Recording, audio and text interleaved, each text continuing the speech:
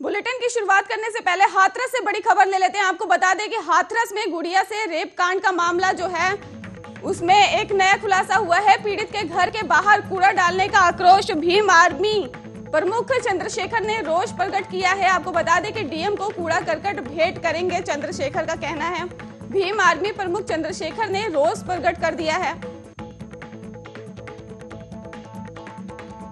बता दें कि डीएम को कूड़ा करकट भेंट करने की तैयारी कर चल रही है। चंद्रशेखर ने कहा है, आपको बता दें कि इस वक्त की बड़ी खबर जो आ रही है हाथरस से, हाथरस की गुड़िया से रेप कांड का मामला जो है वो सामने आया है।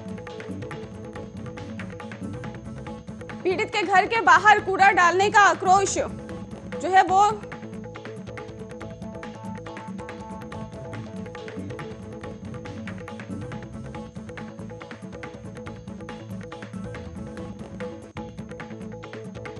कूड़ा करकट भेंट करेंगे चंद्रशेखर। बता दें आपको कि डीएम को कूड़ा करकट भेंट करने की तैयारी चल रही है। चंद्रशेखर भेंट करेंगे और हाथरस की गुड़िया जो है, उसमें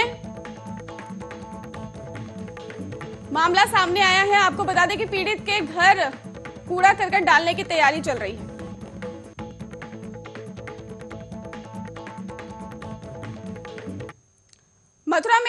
के 11 नए मरीज़ सामने आए हैं और बुखार के से जो आपको बता दें कि इस वक्त की मथुरा से बड़ी खबर आ रही है। मथुरा में डेंगू के 11 नए मरीज़ सामने आए हैं और वायरल बुखार से दो मासूम बच्चों की मौत भी बताई जा रही है। इस वक्त की बड़ी खबर हम मथुरा से आपको बता रहे हैं, जहाँ पर दो बच्चों की मौत हो गई है बुखार से। इसापुर गाँव के दो मासूम बच्चे बताए जा रहे हैं। छह से आठ साल के मासूम बच्चों की मौत हो चुकी है। आपको बता दें कि ईसापुर गाँव के दो मासूम बच्चे हैं, जो जिनकी उम्र छह से आठ साल बताई जा रही है। मथुरा में बढ़ता जा रहा है डेंगू का खतरा, जिससे अब दो बच्चों की मौत हो गई है। इस वक्त आपको मथुरा से बड़ी खबर हम बता रहे हैं कि दो बच्चों की मौत हो चुकी है और डेंगू के 11 नए मरीज़ मामले सामने जो है, आ गए। बता दें कि वायरल बुखार से दो मासूम बच्चों की मौत फ़िलहाल हो चुकी है।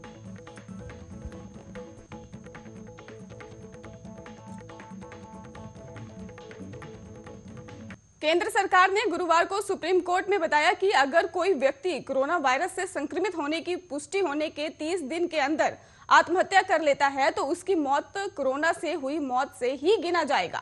सरकार ने सुप्रीम कोर्ट में बताया कि, आपको बता दें कि परिजनों को सरकारी दिशा निर्देश के मुताबिक कई हज़ार रुपए की अनुग्रह राशि दिया जा सकता है। सुप्रीम कोर्ट में अनु सुनवाई के दौरान सरकार ने यह साफ़ कर दिया कि कोरोना जाँच होने या संक्रमण की पुष्टि होने से 30 दिनों के अंदर अगर किसी मरीज़ की मौत हो जाती है तो इस मृत्यु को महामारी से जुड़ी हुई मृत्यु माना जाएगा।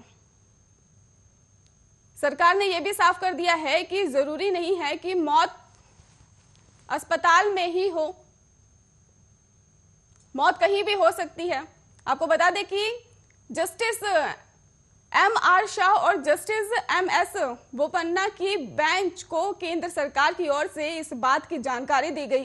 सरकार ने सुप्रीम कोर्ट में साफ़ किया कि अगर कोई व्यक्ति कोरोना से संक्रमित हो जाता है और 30 दिन के अंदर अगर आत्महत्या कर लेता है तो उनकी मौत कोरोना संक्रमित व्यक्तियों में ही होगी। सुप्रीम कोर्ट वकील गौरव कुमार बंसल और कोरोना से अपने मरीजों को खोने वाले कुछ लोगों की याचिका पर सुनवाई कर रहा था। मृतकों की परिजनों की ओर से वकील जो है वो सुमीर सोनी पक्ष रख रहे थे। सुप्रीम कोर्ट में याचिका दायर कर महामारी से मरने वाले लोगों के परिजनों ने मुआवजे की मांग की थी।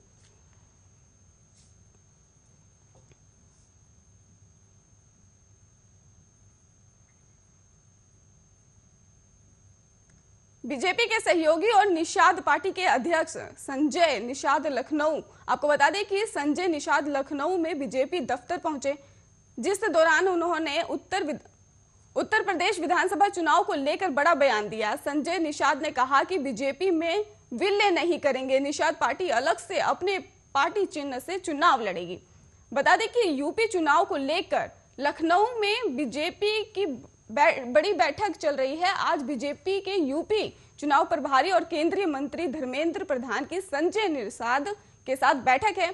मिशन 2022 को लेकर बीजेपी ने तैयारी तेज कर दी है। थोड़ी देर में यूपी चुनाव प्रभारी की प्रेस कॉन्फ्रेंस भी है। आपको ये भी बता दें कि बीजेपी के साथ गठबंधन का ऐलान कर चुके निरसाद पार्टी के राष्ट्रीय अध्यक्ष संजय निरसाद रथ यात्रा निकालकर 2022 विधानसभा चुनाव के लिए बिगुल फूंक रहे हैं। निषाद समुदाय में अच्छी पकड़ वाले संजय निषाद बीजेपी के साथ मिलकर निषाद समुदाय को जोड़ने में जुटे हैं, जिसके चलते उन्होंने निषाद आरक्षण उत्साह रथ यात्रा की शुरुआत की है। गुरुवार को कानपुर देहात में निषाद ने कहा कि वो वोटरों को उनकी ताकत का एहसास कराना चाहते हैं। वोटर अभी बेहोश हैं, जिसे होश में लाना है। निषाद समुदाय ने संविधान में महत्वपूर्ण भूमिका भी निभाई है। आपको ये भी बता दें कि संविधान ने सभी को बराबरी का दर्जा भी दिया है। लेकिन अभी तक निषाद समुदाय को समाज में वो स्थान नहीं मिला और ना ही किसी पार्टी ने दिया। लेकिन बीजेपी से उनकी उम्मीद बंधी हुई नज़र आ रही है और वो विश्वास रखते हैं कि भारतीय जनता पार्टी के साथ जोड़ के वो निषाद समुदाय के लिए कुछ कर पाएँगे।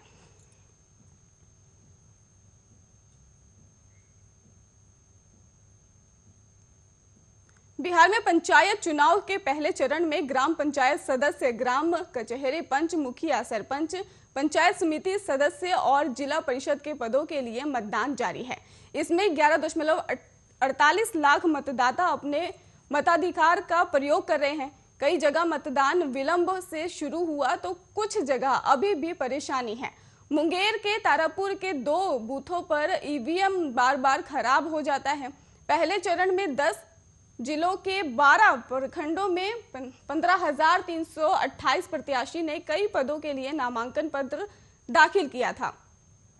जिनमें 800 आठ जो है वो पद मिले थे। आपको ये भी बता दें कि बांका ज़िले के मध्य विद्यालय लगाए पोनंत मध्य विद्यालय पडरिया और बूथ मध्य विद्यालय कुरमा में ज़िले परिषद सदस्य बूथ पंचायत भवन चंदादीह और में पंचायत समिति सदस्य, बूथ सदस्य और विद्यालय रणगांव में वार्ड सदस्य और बूथ प्राथमिक विद्यालय सिताचक में मुख्य के रूप सीयू बदले गए। बूथ 172 पर जिला परिषद सदस्य और पंचायत समिति सदस्य दोनों के सीयू बदले गए हैं।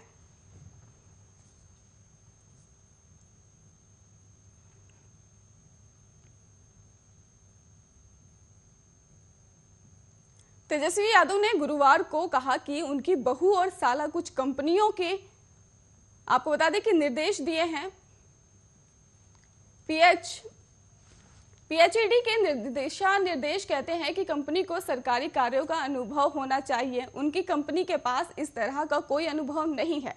वहीं उप मुख्यमंत्री ने तेजस्वी के इस बयान पर जवाब देते हुए सभी आरोपों को सिरे से खारिज कर दिया है। प्रसाद ने कहा कि वो कहते हैं कि मेरी बहू और साला एक संगठन को संबंधित हैं। मेरे दामाद पर भी आरोप लगाए, मेरे परिवार का कोई भी सदस्य इससे किसी तरह का कोई संबंध नहीं रखता है। इससे पहले बुधवार को तेजस्वी यादव ने आरोप लगाया था कि उप मुख्यमंत्री तारकिशोर प्रसाद के परिजनों को करोड़ों रुपए के ठेके दिए गए हैं। उन्होंने कहा कि ये ठेके राज्य के हर घर में टंकी का पानी पहुँचाने के शुरू की गई है। हर घर नल जल योजना के तहत दिए गए हैं। तेजस्वी ने इसकी जाँच के मांग करते हुए कहा कि प्रसाद के मंत्रालय की भी जाँच की जानी चाहिए। जेडीयू से संबंध रखने वाले कई लोगों को सात निश्चय के तहत कई योजनाओं में ठेके मिले हैं। उन्होंने कहा कि मुख्यमंत्री नीतीश कुमार को अपनी अंतरात्मा जगानी पड़ेगी।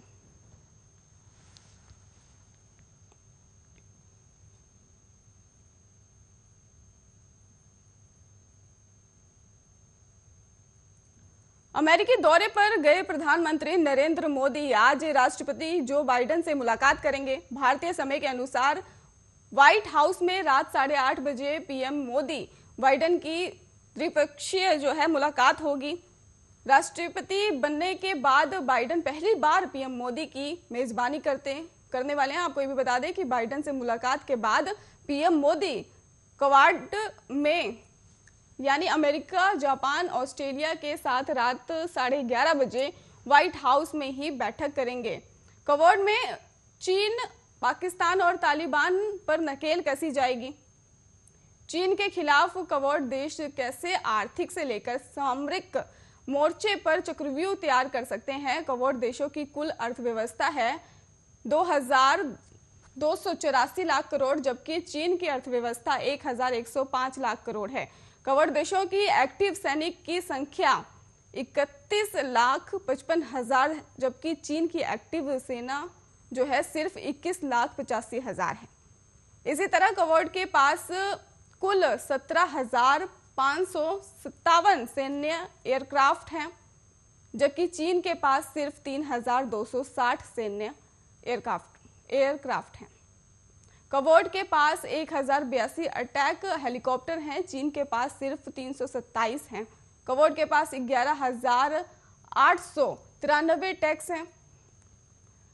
चीन के पास तीन हज़ार दो सौ पाँच हैं। कवर्ड के पास एक सौ ग्यारह समरीन है और चीन के पास उनहत्तर जो है, वही है और तो सैन्य लिहाजा से कवर्ड के चारों देश चीन पर भारी हैं। इसलिए चीन कवर्ड के चिढ़ा हुआ है। आपको बता दें कि चीन की हुकूमत कवर्ड से हथियाई हथियाई हुई है और एनएटीओ भी बता चुकी है। दुनिया के नक्शे पर भारत, अमेरिका, जापान, ऑस्ट्रेलिया मिलकर एक चतुर्भुज बनाते हैं, इसलिए इसे कवर्ड कहा गया है। इन देशों के बीच ही आता है हिंद महासागर और प्रशांत महासागर का वो हिस्सा, जहाँ चीन अतिक्रमण करना चाहता है। इस इलाके में उसने म्यांमार, थाईलैंड, श्रीलंका जैसे देशों सैनिकों सुविधाएँ दी हैं म्यांमार, बाला, बांग्लादेश और श्रीलंका जैसे देशों के पोर्ट तक बनाए। लेकिन चीन के दिन अब लदने वाले हैं क्योंकि विकास के नाम पर विनाशशीला जो है वो प्लान कर रहा है चीन। उस पर कवोड लगाम लगाने में सक्षम है।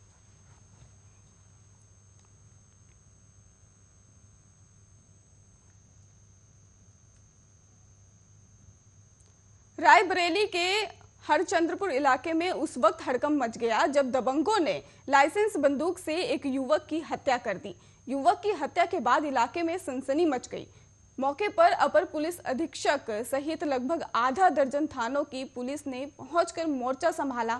तब कहीं जाकर ग्रामीण और परिजन शव को पोस्टमार्टम के लिए राज़ी हुए। आपको बता दें कि दिल दहला देने वाला ये मामला हरजन हरचंद्रपुर थाना क्षेत्र के गड़ी खास के प्रधान लक्ष्मीकांत के गेस्ट हाउस का बताया जा रहा है। गेस्ट हाउस में दो लाइसेंसी बंदूकें रखी हुई थी। बताया जा रहा है कि देर शाम राजवीर नाम के एक युवक और उसके साथी ने लाइसेंस बंदूक से उसे गेस्ट हाउस में रहने वाले शुभम की गोली मारकर निर्मम हत्या कर दी। हत्या की खबर के बाद गेस्ट हाउस के सभी सामने आए हैं। आपको बता दें कि ग्रामीण का हुजूम इस पर उमड़ पड़ा है। भीड़ को बेकाबू देख छह थानों की पुलिस फोर्स के साथ अपर पुलिस अधीक्षक विश्वजीत श्रीवास्तव ने भी मोर्चा संभाला। घंटों की मशक्कत के बाद परिजनों और ग्रामीणों को मृतक के शव का पोस्टमार्टम कराने के लिए राज़ी किया गया।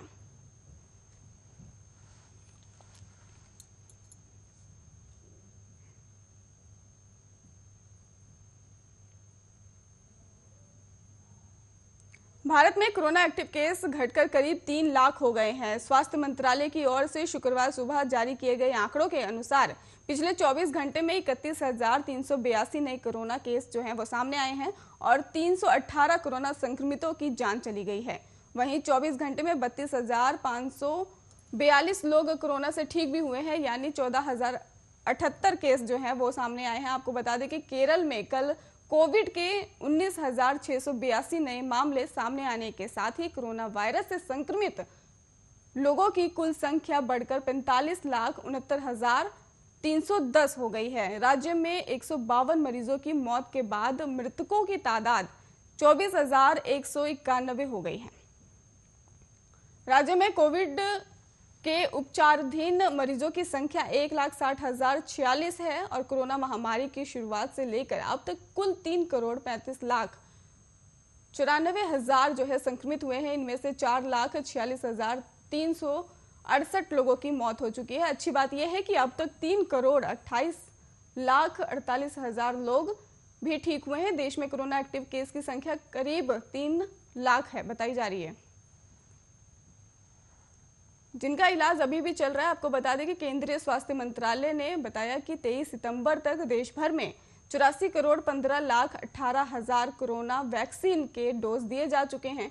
बीते दिन बहत्तर दशमलव बीस लाख टीके भी लगाए गए हैं। देश में कोरोना से मृत्यु दर एक दशमलव तैतीस फ़ीसदी है। जबकि रिकवरी रेट की बात की जाए तो सतानवे दशमलव सतहत्तर फ़ीसदी है। एक्टिव केस ज़ीरो दशमलव नब्बे फ़ीसदी है। कोरोना एक्टिव केस मामले में दुनिया में भारत अब आठवें स्थान पर है।